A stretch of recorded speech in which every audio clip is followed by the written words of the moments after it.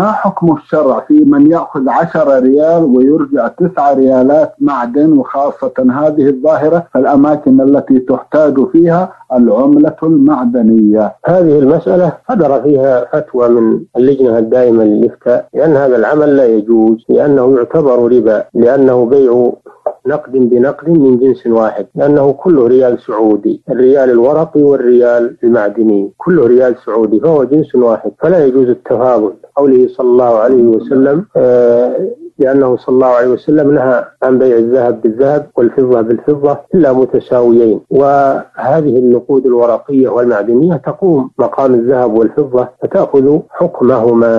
نعم. جزاكم الله خيرا وأحسن إليكم.